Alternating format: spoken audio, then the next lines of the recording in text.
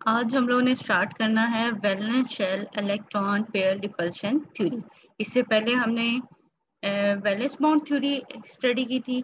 इसी इसी के साथ साथ फिर हमने ऑर्बिटल हाइब्रिडाइजेशन स्टडी किया था और आज हम देखेंगे valence shell electron pair repulsion theory जैसे कि इसके नेम से ही ज़ाहिर है कि जो वैलेंस शेल के अंदर इलेक्ट्रॉन हैं, यानी इलेक्ट्रॉन पेयर आपको पता जब भी बॉन्ड बनेगा तो पेयर में इलेक्ट्रॉन होंगे तो बॉन्ड बनेगा। कि वैलेंस शेल के अंदर जो इलेक्ट्रॉन पेयर है, उनकी रिपल्शन की बेस पे ये थ्योरी एक्सप्लेन करती है मॉलिक्यूल की शेप एंड मॉलिक्यूल की ज्योमेट्री तो सिंपली इसको वेस्पर थ्योरी कहते हैं, ठीक है? यहाँ इसका नेम हमारे पास क्या है? Valence shell electron pair repulsion theory हमारे पास इसका नेम है, ठीक है? There is a very natural correlation between the orientation of the bonds of uh, to an atom and the special requirement of the bonding and non-bonding electron that reside at and hence occupy the space surrounding the atom कि एक atom के ऊपर हमारे पास जो bonds बने हुए हैं उनकी क्या ओरिएंटेशन है ठीक है और जो बॉन्ड पेयर हैं और जो नॉन नॉन बॉन्डिंग होते हैं, ठीक है? बॉन्ड पेयर तो वो इलेक्ट्रॉन होंगे जो बॉन्ड बना रहे हैं और नॉन बॉन्डिंग वो होंगे जो कि बॉन्डिंग में पार्टिसिपेट नहीं कर रहे वो लॉन पेयर के तौर पर एक्ट कर रहे हैं, ठीक है? उनकी क्या स्पेस में ओरिएंटेशन है? अब ये दो चीज़ें हमारे पास डिटरमिन करते हैं कि मालिक्यूल की ज्योमेट्री क्या है। यानी एक एटम है, उसके गिर्द जो दूसरे एटम्स बॉन्ड बना रहे हैं उनकी ओरिएंटेशन क्या है? और जो बॉन्ड नहीं बना रहे इलेक्ट्रॉन अवेलेबल हैं, ठीक है लॉन पेयर के तौर पे में, उन, उनकी क्या ओरिएंटेशन है? ये दोनों चीज़ें हमारे पास डिटरमिन करती हैं मॉलिक्यूल की, जो बैटरी क्या है। तो सबसे पहले किसने वर्क किया? Sidgwick and Powell in 1940 suggested that the shape of polyatomic molecule or ions are determined by the total number of bonding and non-bonding electron pairs present in dilation of the central atom कि ये determine किया गया कि जितने भी non bonding और bonding electron pair हैं, किसी भी एलिमेंट के जो वैलेंस शेल के अंदर, वही उसकी शेप के बारे में या वही उसकी ज्योमेट्री के बारे में एक्सप्लेन करेंगे। Since then several worker including the Gillespie have been emphasizing the importance of lone pair of electron in the state stereochemistry ठीक है डिफरेंट साइंटिस्ट ने काम किया उनमें से एक ग्लिस्पी भी थे and Gillespie and Nyholm in 1957 proposed that the stereochemistry of atom in a molecule is mainly determined by repulsive interaction among the all electron pair in the valence shell. कि यहाँ पे क्या है इलेक्ट्रॉन और electron की आपको पता है रिपल्शन होती है ठीक है सेम चार्जेस जो है आपस में रिपेल करेंगे। तो इन्होंने एक्सप्लेन ये किया था कि स्टीरियो केमिस्ट्री किसकी बेस पे बन रही है? कि जो टोटल इलेक्ट्रॉन्स हैं, चाहे वो बॉन्डिंग है, चाहे वो नॉन बॉन्डिंग है, ठीक है, उनकी आपस की रिपल्शन की बेस पे हम मालिक्यूल के स्ट्रक्चर के बारे में या मालिक्यूल की ज्योमेट्री के बारे में एक्सप्लेन कर सकते हैं। तो इसकी वजह से इस थ्योरी का नेम क्या बना? Valence shell electron pair repulsion theory कि बैलेंस शेल के अंदर जितने भी इलेक्ट्रॉन हैं उनकी जो रिपल्शन है उसकी बेस पे हम लोग यहाँ पे क्या कर एक्सप्लेन कर ठीक है शेप्स को। VSEPR theory has since been considerably develop largely through the effort of Gillespie यानी कि यहाँ पे किस साइंटिस्ट का ज़्यादा वर्क था? According to this theory, the bonding and non-bonding electron pair in the valence shell of the central atom arrange themselves in such a manner that there is a minimum repulsion between them. कि ये non bonding और जो bonding electrons हैं, ये आपस में एक दूसरे को के साथ किस तरह अरेंज होंगे कि ये सेंट्रल एटम की गेट आपस में एक दूसरे से मैक्सिमम डिस्टेंस पे होंगे। ठीक है? जब कोई इलेक्ट्रॉन पेयर मैक्सिमम डिस्टेंस पे होगा, तभी उनके दरम्यान में मिनिमम रिपल्शन होगी ना। जितने ज़्यादा दूर होंगे, उतनी ज़्यादा रिपल्शन कम होगी। और आपको पता है, जब जितनी रिपल्शन ज़्यादा होती है, उसकी एनर्जी भी हाई होती है, ठीक है? अब हमने क्या करना है कि जितनी रिपल्शन कम होगी, उतनी ही एनर्जी भी कम होगी, ठीक है? और मालिक्यूल स्टेबल हमारे पास बनेगा, उसकी एक स्पेसिफिक शेप आ जाएगी। Hence, electron pair orbits adopt arrangement in space that provide minimum maximum separation among the electron pairs, कि maximum separation होगी और उनकी एनर्जी क्या होनी चाहिए? Minimum since there can only be one orientation of orbital corresponding to minimum energy. The molecular line has the definite shape and geometry.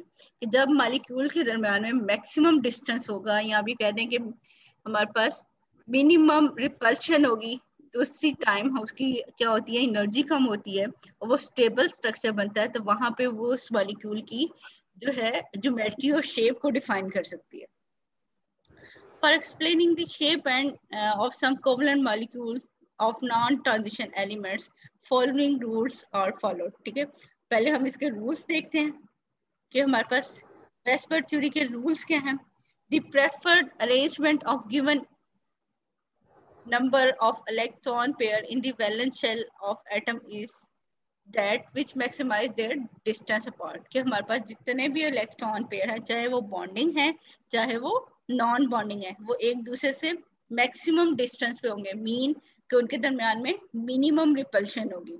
Next हमारे पास क्या है? Non bonding pair of electron takes up more room on the surface of an atom than the bonding pair कि हमारे पास जो lawn pair है, ठीक है, जो कि नॉन बॉन्डिंग है, वो तो लॉन पेयर के तौर पे आ जाता है। वो ज़्यादा स्पेस ऑक्यूपाई करेंगे। यानी अब दो इलेक्ट्रॉन एक जगह पे प्रेजेंट हैं तो वो दूसरे जो बॉन्डिंग इलेक्ट्रॉन है, उनको ज़्यादा रिपेल करेंगे। ये ज़्यादा जगह ले रहे हैं, हमारे पास नॉन बॉन्डिंग होंगे और जो बॉन्डिंग वाले हैं, वो कम जगह ले रहे हैं। क्यों बॉन्डिंग वाले कम जगह ले रहे हैं?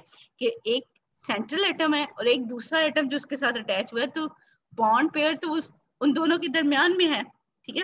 तो वहाँ पे वो बॉन्ड बॉन्डिंग पेयर स्ट्रेच हुआ होता है, लेकिन हमारे पास जो लॉन पेयर है वो तो किसी के साथ बॉन्ड ही नहीं बना रहा वो एक ही एटम के ऊपर मौजूद है तो वो इसलिए वहाँ पे वो ज़्यादा जगह लेता है और बाकी वाले को के साथ ज़्यादा रिपल्शन शो कर रहा होता है The two electron pair of double bond or three electron pair of a triple bond takes up more room than does then uh, the one electron pair of a single bond.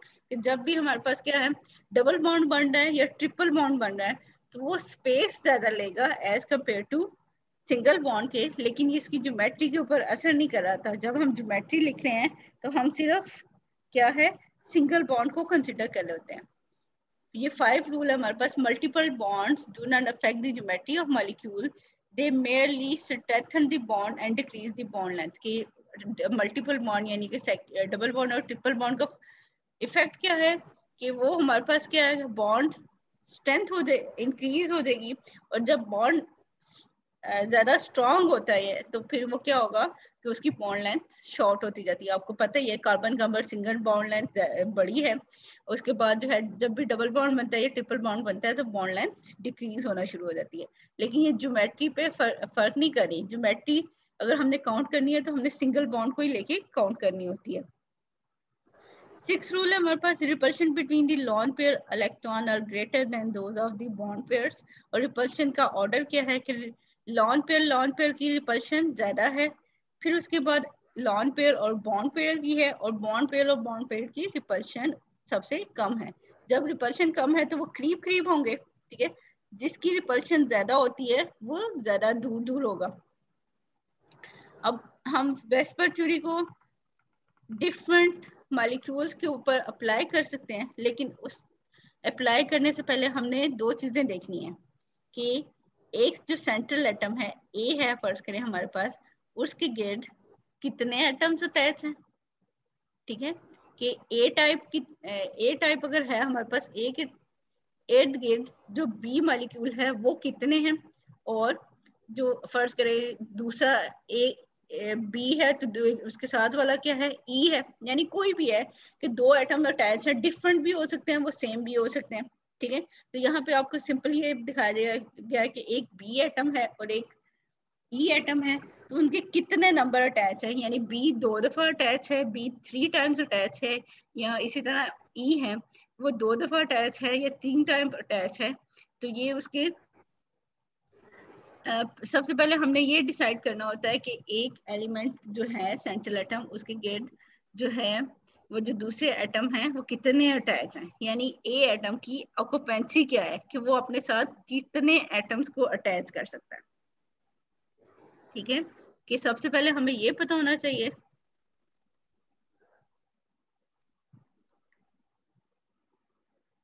कि हम occupancy निकाल रहे हैं।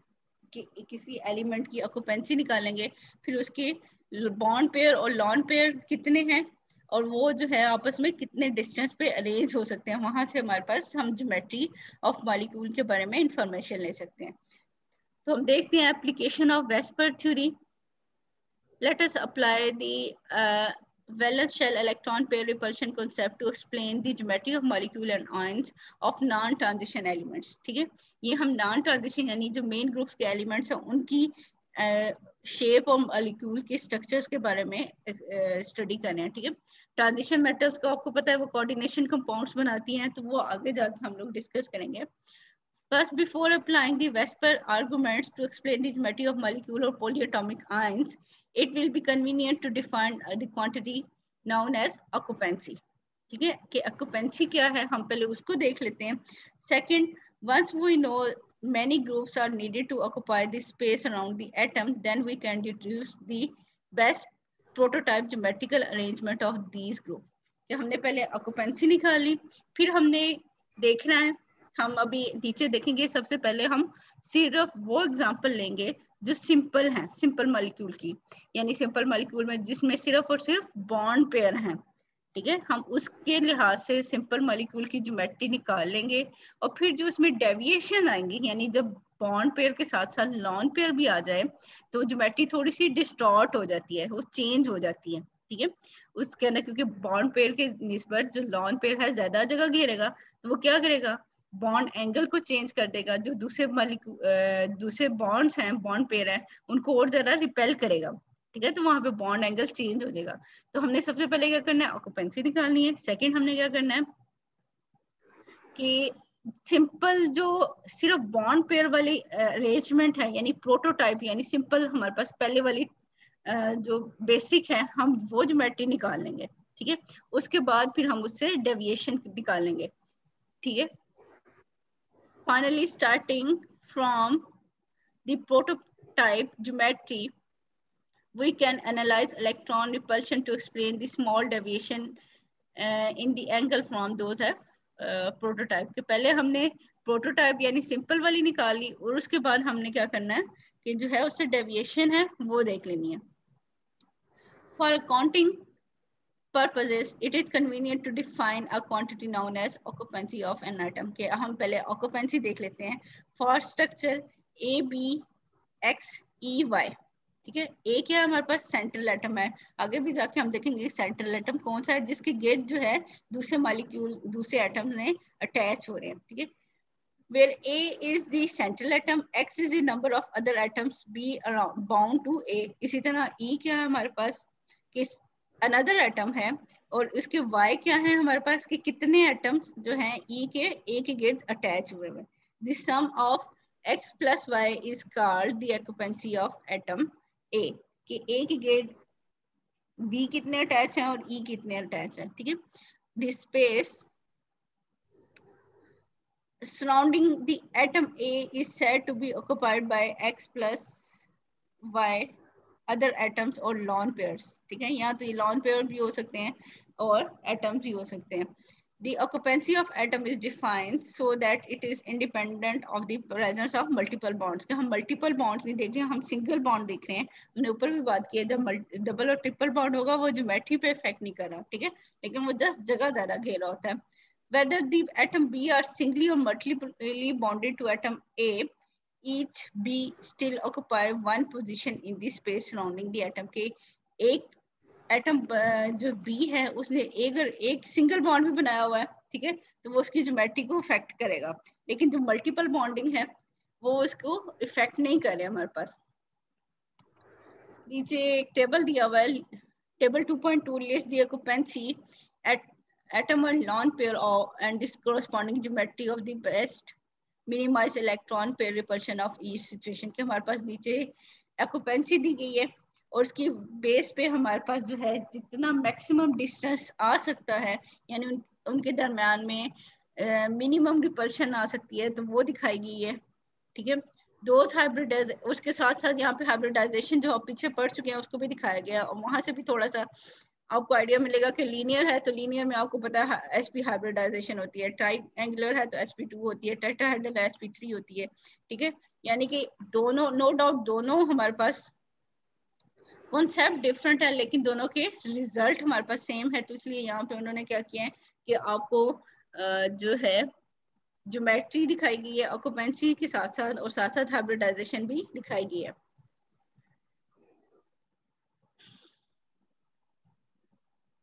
In the following example, the three localized bonding theories have been applied in roughly the following the fashion ठीक है? कि आप जब नीचे मॉलिक्यूल्स के स्ट्रक्चर देख रहे हो तो हम क्या कर रहे हैं? उसका लेविस स्ट्रक्चर देख रहे हैं ठीक है? पहले उसकी प्रॉपर लेविस डायग्राम बना रहे हैं उसके बाद उसकी ऑक्यूपेंसी देख रहे हैं एंड उसकी हाइब्रिडाइजेशन भी देख रहे हैं। तो वो क्या होगा कि तीनों चीज़ें यहाँ पे कंबाइन हो जाएँगी। मल्टीपल बॉन्ड्स वही बात आ गई कि हमारे पास मल्टीपल बॉन्ड को हम यहाँ कंसिडर नहीं कर रहे क्योंकि वो जो है, ज़्यादा स्पेस ले रहे हैं, लेकिन ज्योमेट्री सिंगल बॉन्ड्स की से ही डिटरमिन हो रही होती है। ठीक है, और साथ में हम क्या कर रहे हैं पहले कि प्रोटोटाइप की ज्योमेट्री ले रहे हैं और उसके बाद हम जो है उससे डेविएशन देखेंगे। तो हम नीचे मालिक्यूल्स को देख लेते हैं। ये आप सिंपल प्रोटोटाइप देख लें कि टू है तो लीनियर थ्री है ट्राइगोनल फोर है टेट्राहेड्रल स्केयर प्लेनर ठीक है?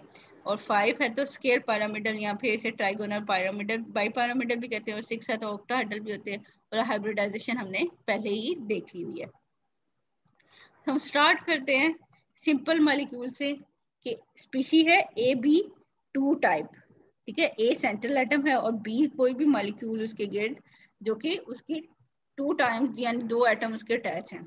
इसकी बेस्ट एग्जांपल हमारे पास क्या है? BCl two molecule in the vapour phase यहाँ पे मालिक्यूल की जो स्ट्रक्चर बनेगा मैक्सिमम डिस्टेंस पे आएगा, ठीक है? तो सिर्फ़ बॉन्ड पेयर है लॉन पेयर नहीं है, ठीक है? सिंपल टाइप प्रोटोटाइप में सिर्फ़ हम बॉन्ड पेयर्स की बात करें। Chlorine beryllium and chlorine in which this central atom हमारे पास क्या है? ब्रिलियन एटम इज़ और सराउंडेड बाय टू ये सिग्मा बॉन्ड पेयर है, यानी सिंगल बॉन्ड बन रहा है सिग्मा है और बॉन्ड पेयर है मीन बॉन्डेड इलेक्ट्रॉन की बात हो रही है एंड नो लॉन पेयर ठीक है? कि लॉन पेयर यहाँ पे नहीं है, सिर्फ़ बॉन्डिंग बॉन्डिंग इलेक्ट्रॉन है, इसलिए दो बॉन्ड पेयर हैं, एक बॉन्ड जो है ब्रिलियम का एक क्लोरीन के साथ, दूसरा ब्रिलियम का दूसरे क्लोरीन के साथ बना हुआ है।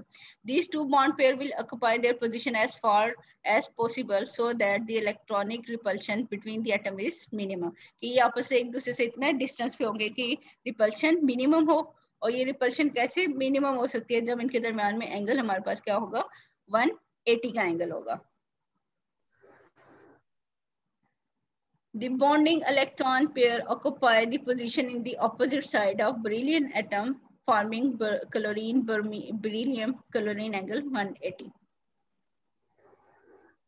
जिसका मतलब है जब 180 पे आएगा तो उसकी ज्योमेट्री क्या होगी? लीनियर इसी तरह हमारे पास मालिक्यूल है कार्बन डाइऑक्साइड मालिक्यूल उसके लिए लेवी स्ट्रक्चर हमारे पास क्या है कि हमारे पास oxygen double bonded carbon and double bonded oxygen ठीक है, इसकी ज्योमेट्री हमारे पास क्या है? सेंट्रल आइटम क्या है? कार्बन और उसकी गेट क्या है? दो बॉन्ड पेयर्स हैं। और लॉन पेयर नहीं है, ठीक है? बाई पाई बॉन्ड जो मल्टीपल बॉन्ड है, उसको हम कंसिडर नहीं कर रहे। सिंगल अगर हम देखें तो हमारे पास क्या है? दो बॉन्ड बने हुए हैं। एक कार्बन का सिग्मा बॉन्ड एक ऑक्सीजन के साथ, दूसरा दूसरे के साथ। तो यहाँ पे भी हमारे पास क्या है? लीनियर ज्योमेट्री होगी और मॉलिक्यूल के एंगल जो है, यहाँ पे 180 का होगा। अगर, और एग्जांपल हम देखें तो हाइड्रोजन साइनाइड आ गया। एक बॉन्ड पेयर कार्बन हाइड्रोजन का और एक बॉन्ड पेयर जो है सिग्मा बॉन्ड जो है कार्बन नाइट्रोजन का आएगा और ये लीनियर ज्योमेट्री आ जाएगी। इसी तरह एसिटाइलिन है, एक कार्बन का एक हाइड्रोजन के साथ बॉन्ड दूसरी कार्बन का दूसरे के साथ बॉन्ड बना हुआ है तो ये लीनियर ज्योमेट्री आ जाएगी और कार्बन कार्बन का भी सिंगल कंसिडर होगा, ठीक है? नेक्स्ट टाइप है हमारे पास ए बी थ्री यानी सिंगल जो बॉन्ड पेयर्स के साथ और उस पर लॉन पेयर नहीं है। तो इसकी एग्जांपल आती है B C L three molecule जिसमें बोरान जो है सेंट्रल एटम है, उसके गेट थ्री बॉन्ड एंगल्स हैं और लॉन पेयर नहीं है। जब थ्री बॉन्ड एंगल हो गए तो इन्होंने अपने आप को मैक्सिमम डिस्टेंस पे अरेंज करना है तो मैक्सिमम डिस्टेंस अब क्या होगा? 180 की बजाय 120 हो जाएगा। यानी इनके दरम्यान में मिनिमम रिपल्शन होती है ब्रोन के गेट थ्री क्लोरीन आपको दिखाए गए हैं और इनके दरम्यान में आप डिस्टेंस एंगल जो है वो कितना हो गया? 120 का एंगल होगा और ये शेप क्या बनेगी? ट्राइगोनल स्ट्रक्चर उनके दरम्यान मिनिमम रिपल्शन होगी। ठीक है? ये इसी तरह एग्ज़ाम्पल आती है हमारे पास B C L three and B F three या गैलियम ट्राइक्लोराइड भी आ सकता है। बी एच थ्री मालिक्यूल है ट्राइगोनल प्लेनर ज्योमेट्री ठीक। इसी तरह हमारे पास सल्फ़र ट्राईऑक्साइड मालिक्यूल है। इसके अंदर भी ट्राइगोनल प्लेनर ज्योमेट्री होगी। अब क्या है यहाँ पे कि एक साइड पे डबल बॉन्ड बना हुआ है और दूसरे साइड पे सिंगल जो बॉन्ड है डेटिव बॉन्ड है, वो बना हुआ हैं, ठीक है? Lewis structure of this molecule suggest that sulphur atom is link with one oxygen atom by double bond के एक ऑक्सीजन के साथ इसका डबल बॉन्ड है and with two oxygen by coordinate covalent bonds दो एरो शो आपको किए जा रहे हैं, यहाँ पे ऑक्सीजन मिसिंग है कॉर्नर्स पे आप ऑक्सीजन लगा लीजिएगा। Now since sulfur atom is surrounded by three sigma bond pairs and no lone pairs ठीक है? अब यहाँ पे क्या है? इसकी ज्योमेट्री भी फिर ऐसी होगी बी सी एल थ्री की तरह की, यानी ट्राइगोनल बाई पिरामिडल इसकी ज्योमेट्री हो जाएगी हमारे पास। नेक्स्ट है हमारे पास ए बी फोर टाइप्स के चारों के चारों जो हैं फोर बॉन्ड पेयर बने हुए हैं और लॉन्ग पेयर नहीं है। अब चार एट चार बॉन्ड्स को एक तरह अरेंज करने के लिए अब थ्री डायमेंशनल स्ट्रक्चर बनना है। पहले तो वो प्लेन में थे, ठीक है? 120 का एंगल था। अब एंगल क्या हो जाएगा? कम हो जाएगा। 109.5 एंगल हो गया और ये टेट्राहेड्रल अरेंजमेंट में आ गए ठीक है, कि फोर बॉन्ड पेयर हैं नो लॉन पेयर हैं कार्बन की एग्जांपल दी जा रही है सी एच फोर के अंदर, कि मिनिमम रिपल्शन आएगी इसके अंदर टेट्राहेड्रल के अंदर। ठीक है, और टेट्राहेड्रल में क्या होता है कि फोर फेसेस होते हैं और सारे के सारे इक्विलेटरल ट्राइंगल बना रहे हैं। ठीक है, कि एक एक तरह के हमारे पास अगर देखा जाए तो ये एक ट्राइंगल बन रही है, लेकिन फोर एटम्स की सेंट्रल एटम की ट्राइंगल बन रही होती है। Each of the four carbon hydrogen carbon bond angle is equal to 109.5 इसकी और एग्जांपल्स क्या हो सकते हैं? सी सी एल फोर या silicon tetrachloride molecules and ammonium ions, या sulphate ions, also have tetrahedral geometry ये आपको शेप दिखाई गई है। कार्बन के गेट हमारे पास चार हाइड्रोजन है और उनके दरमियान में एंगल कितना है? 109.5 का एंगल आ जाता है। ठीक है? तो ये सिंपल हमारे पास टेट्राहेड्रल शेप है। इससे नेक्स्ट है हमारे पास ए बी फाइव टाइप यानी कि पाँच बॉन्ड बने होंगे।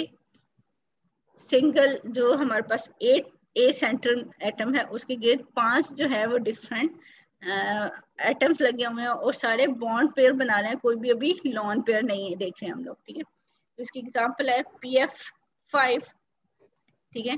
इसमें क्या है? फाइव सिग्मा बॉन्ड पेयर हैं एंड नो लॉन पेयर हैं तो ये आपस में कैसे अरेंज होंगे?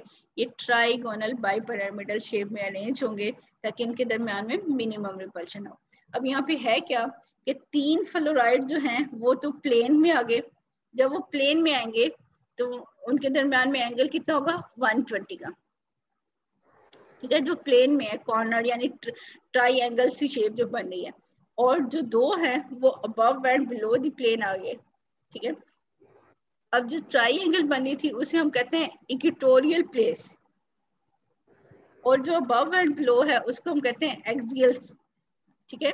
अब एक्सियल वाले हैं और एक्टेरियल वाली यानी दो तरह की अरेंजमेंट इसके अंदर आती है बाई पैरामीटर और अगर हम इसको स्पेस में देखें तो ये दो पैरामिड्स की तरह बने होते हैं। तो इसलिए इसको कहा जाता है कि एक ऊपर वाला पैरामिड और एक नीचे वाला पैरामिडल है, है स्पेस है। तो इसलिए इसको हम कहते हैं ट्राइगोनल बाई पैरामिडल शेप अब यहाँ पे जो ट्राइगोनल है उनकी आपस में आ, एंगल है 120 का एक फ्लोरीन जो ऊपर वाला है और जो नीचे वाले उनका देखें तो वो हमारे पास कितना है? वन एटी का बन जाता है। ठीक है? लेकिन एक एक्सियल और एक एक्टोरियल के दरमियान में वो जो डिस्टेंस होता है, वो हमारे पास होता है नाइन्टी का।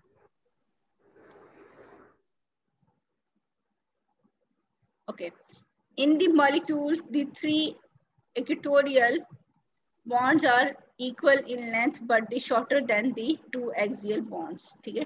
इनका बॉन्ड जो है, वो हमारे पास क्या है? शॉर्टर है as compare to axial molecule which have trigonal shape और PCl five and stibium pentachloride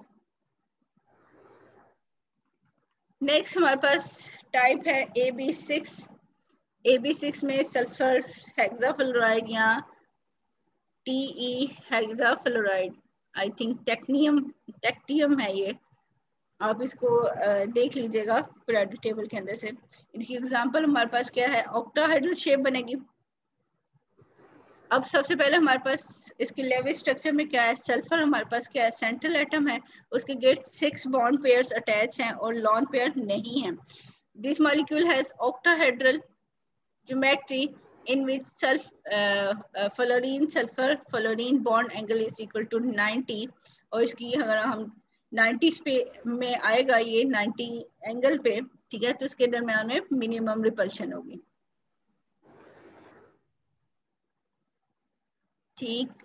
जब ये मिनिमम रिपल्शन हो रही है तो अब ये देखें यहाँ पे हमारे पास क्या है? सल्फ़र की गेट फोर जो है हमारे पास एक प्लेन में है और एक फ्लोरीन अबव द प्लेन है और एक बिलो द प्लेन है। ठीक है? इनके दरमियान में एंगल कितना है? जो एक्सिस में है वो हमारे पास 90 का एंगल है और एक फ्लोरीन का दूसरे फ्लोरीन जो एक्सियल है हमारे पास आ, उनका डिस्टेंस जो है वो 180 का डिस्टेंस आ जाता है और ये हमारे पास ओक्टाहेड्रल ज्योमेट्री बनाते हैं। नेक्स्ट टाइप है हमारे पास A B seven type A B seven में अगर हम एग्ज़ाम्पल देख रहे हैं तो यहाँ पे हमारे पास क्या है? आई एफ़ सेवन जो कि एग्ज़ाम्पल की टाइप है ए बी सेवन की, जिसमें हमारे पास क्या है? अगर हम लेविस स्ट्रक्चर सबसे पहले लिखेंगे तो उसमें सेंट्रल एटम के गेट सेवन बॉन्ड पेयर बनने हैं और लॉन पेयर अभी यहाँ पे नहीं है। ठीक है? लॉन पेयर हमने नेक्स्ट देखने हैं यहाँ पे। The thus according to VSEPR theory the molecule has pentagonal bipyramidal geometry के पाँच कॉर्नर्स वाली बन रही है। प्लेन के अंदर क्या है? पाँच कॉर्नर्स हैं। ठीक है? इसलिए इसको पेंटागोनल और बाई पैरामीटर बनेगा। यानी जो सेवन सिक्स और सेवन है, वो उसकी वजह से बाई पैरामीटर सी शेप बनेगी। इन दिस फिगर फिगर नीचे दिखाया जा रहा है आपको 2.17 के अंदर। F A and F B और fluorine atom line in the pentagonal plane and at the axis of pentagonal respectively. कि हमारे पास उसको जस्ट डिफरेंस किया गया है कि जो बी वाले हैं फाइव ठीक है? वो क्या है? प्लेन के अंदर है और ये उन्होंने गलत लिखा है, ये एफ़ बी जो ऊपर वाला है, ये एफ़ ए आना चाहिए। ठीक है? कि पाँच जो है बी वाले वो प्लेन में हैं और एफ़ ए एक ऊपर आना चाहिए और एफ़ ए जो है वो एक नीचे आना चाहिए कि ये जो है हमारे पास जो है प्लेन से बाहर हैं, यानी एक्सिस में है। और उनके दरम्यान में एक एफ़ ए और दूसरे एफ़ ए के दरमियान में एंगल कितना है हमारे पास? 180 का। और जो दूसरे हैं हमारे पास एफ़ बी और एफ़ बी का एंगल अब क्या होगा कि वो 72 हो गया। और एक अगर हम एक्सियल और एक एफ़ बी यानी एक एफ़ ए और एक एफ़ बी का एंगल देखेंगे तो वो हमारे पास 90 डिग्री का होगा। ठीक है तो ये हमारे पास पेंटागोनल बाई पैरामीटर ज्योमेट्री बनेगी आई एफ़ सेवन मॉलिक्यूल्स के अंदर। नेक्स्ट हम देखते हैं shape of molecules and whose central atom is surrounded by bond pairs and as one और मोर लॉन पेयर्स क्या हमारे पास क्या बॉन्ड पेयर भी आ गए हैं और लॉन पेयर भी आ गए हैं? ठीक है, हमने क्या कहा था, जब भी लॉन पेयर आएगा तो क्या होगा, वो ज़्यादा स्पेस ऑक्यूपाई करेगा जब ज़्यादा स्पेस ऑक्यूपाई करेगा तो वो जो है बॉन्ड पेयर को थोड़ा और ज़्यादा रिपेल करेगा और बॉन्ड पेयर का थोड़ा सा एंगल जो है वो चेंज हो जाएगा यानी शॉर्टर हो जाएगा और वहाँ पे ज्योमेट्री थोड़ी सी चेंज हो जाएगी ठीक है The molecular line whose central atom is surrounded by bond uh, bond pairs as well as the one or more lone pair is represented by इसको हम simply कैसे represent करते हैं कि A B M into lone pair N ठीक है? B के साथ हमारे पास क्या है? एम एम सिंपली दिखाए जा रहे हैं कि हमारे पास जो नॉर्मल एटम्स हैं उसके साथ जितने भी बॉन्ड पेयर बनने हैं और एल पी से रिप्रेजेंट किया जा रहा है कि कितने हमारे पास जो है लॉन पेयर हैं। ए हमारे पास सेंट्रल एटम है B atom link with the central atom A M हमारे पास क्या है? नंबर ऑफ़ बी एटम्स और नंबर ऑफ़ सिंपली हम इसको कह सकते हैं कि सिग्मा बॉन्ड पेयर हैं। और लॉन पेयर हमारे पास क्या दिखा रहा है कि ये कितने हमारे पास लॉन पेयर हैं। ये एक भी हो सकता है, एक से ज़्यादा भी हो सकते हैं हमारे पास। The total number of electron pair which surrounded the central atom is equal to m plus n हमने lone pair को भी काउंट करना है, हमने जो है बॉन्ड पेयर दोनों को काउंट करके उसकी ऑक्यूपेंसी निकालनी है। अब हम मल्टीपल बॉन्ड नहीं देख रहे हैं। हम डबल बॉन्ड या ट्रिपल बॉन्ड नहीं देख रहे हैं। ठीक है? रिमेम्बर करें कि हम लॉन पेयर देख रहे हैं। ठीक है? डबल बॉन्ड या ट्रिपल बॉन्ड में आपको पता है पाई बॉन्डिंग आ रही होती है। हम पाई बॉन्डिंग को नहीं देख रहे क्योंकि हमने पहले कह दिया है कि वो जो है ज़्यादा जगह तो ले रहा है, लेकिन ज्योमेट्री को डिटर्मिन नहीं कर रहा। हम यहाँ पे जो बॉन्ड पेयर्स हैं सिग्मा बॉन्ड और साथ जो लॉन पेयर है, उसको डिटर्मिन करने हैं। तो सबसे पहले हमारे पास स्पीशी क्या बनती है? ए बी टू और उसके साथ एक लॉन पेयर है, ठीक है? तो इसके लिए एल पी उसके साथ लिखा हुआ है। इसके एग्ज़ाम्पल हमारे पास क्या आ जाएँगे? Tin chloride lead chloride sulfur dioxide are the example of such type of species, ठीक है? एग्ज़ाम्पल हम ले रहे हैं सल्फ़र डाइऑक्साइड मालिक्यूल की। सबसे पहले हमने क्या करना है? इसका लेविस स्ट्रक्चर लिखना है कि सल्फ़र का एक ऑक्सीजन के साथ डबल बॉन्ड है और एक के साथ हमारे पास क्या बना हुआ है कि डेटिव बॉन्ड बना हुआ है। ठीक है सेंट्रल एटम हमारे पास क्या है? सल्फ़र है, उसकी गेट जो है हमारे पास दो बॉन्ड पेयर हैं। देखें ए बी टू बन गया कि दो बॉन्ड पेयर आगे सिग्मा बॉन्ड्स और एक लॉन पेयर है। ठीक तो कि bond pair sigma bond pair two and lone pair हमारे पास क्या है? वन और इसकी जब अरेंजमेंट हम देखेंगे तो ये हमारे पास कैसे बनेगी? इस एटम की बनेगी टाइगोनल प्लेनर अकॉर्डिंग टू जो वेस्पर थ्योरी है, ठीक है? क्यों? क्योंकि क्यों ऐसे बन रही है? क्योंकि the presence of one lone pair which occupy one of the three vertex of the triangular plane के हमारे पास जो ट्राइंगल थी, उसके, आपको पता था एंगल कितना था? 120 ठीक है? अब लॉन पेयर भी जो है वो एक एक साइड पे जो है उसके एक वर्टिक्स के ऊपर जो है अटैच है प्रेजेंट है, और वो जो है हमारे पास स्पेस ऑक्यूपाई करना। Due to presence of one lone pair occupies one of the three of the triangular plane the shape of sulphur molecule is not tri trigonal planar but it is angular with oxygen sulphur oxygen bond equal to one twenty ठीक है? इसको हम क्या कहते हैं, ये हमारे पास trigonal planar है। होनी क्या चाहिए? ट्राई प्लेनर लेकिन यहाँ पे थोड़ा सा चेंज होके इसको हम कह देते हैं, ये एंगुलर आ जाती है। ठीक है? थोड़ी सी डेविएशन आ गई ट्राइगोनल प्लेनर से, क्योंकि लॉन पेयर आ गया तो ये एंगुलर शेप होगी हमारे पास इसकी। इसी तरह अगर हमारे पास क्या हो A B three type with one lone pair L three R N H two R two N R3N या chlorate are the example of this type of species. Here we discuss the ammonia molecule. कि इसमें क्या है एक lone pair है और ए के साथ थ्री एटम्स जो हैं, वो उन्होंने सिग्मा बॉन्ड बनाया हुआ है यानी अगर आपको इसका पता हो A B three lone pair का ही पता हो तो आप क्या कर सकते हो इससे डिफाइन कर सकते हैं कि यहाँ हमारे पास जो बी है, उसने थ्री बॉन्ड बनाया हुआ है और एक लॉन पेयर होना चाहिए, जिसका मतलब है थ्री सिग्मा बॉन्ड होंगे नाइट्रोजन जो सेंट्रल एटम है, और एक लॉन पेयर होगा। तो इसकी ज्योमेट्री बननी क्या चाहिए थी? फोर वाली, अगर हम आप पीछे देखो, जब फोर एटम्स अटैच हो रहे थे तो टेट्राहेड्रल बन रहे थे। लेकिन अब क्या है? एक लॉन पेयर भी आ गया, ठीक है? अब वो एक स्पेस को ऑक्यूपाई करेगा। ठीक है, जो एक वर्टिक्स है उसको ऑक्यूपाई करेगा तो अब इसकी ज्योमेट्री टेट्राहेडल नहीं होगी, बल्कि इससे डिस्ट्रॉक्टेड हो जाएगी एंड बिकम्स ट्राइगोनल पायरामिडल इसकी ज्योमेट्री हो जाएगी? ट्राइगोनल पायरामिडल हो जाएगी टेट्राहेडल की बजाय. Although the orientation of four electron pair around nitrogen atom is tetrahedral but hydrogen nitrogen hydrogen angle is not equal to the expected tetrahedral angle कि अब इसका एंगल कितना हो जाएगा? 109 जो था उससे कम होके 107.5 हो गया। यानी लेस हो गया यहाँ पे। क्यों लेस हो गया? है कि अब लॉन पेयर लॉन पेयर की रिपल्शन ज़्यादा है और बॉन्ड पेयर की रिपल्शन कम है। स्टूडेंट ये मीटिंग खत्म होने लगी है। जैसे ही खत्म होती है आप लोगों ने इसको दोबारा ज्वाइन कर लेना है? ठीक है अब हमारे पास बॉन्ड पेयर क्यों कम हो रहा है? कि अब लॉन पेयर भी आ गया है तो उसकी रिपल्शन जो है ज़्यादा है as compare to bond pair के। ठीक है? अब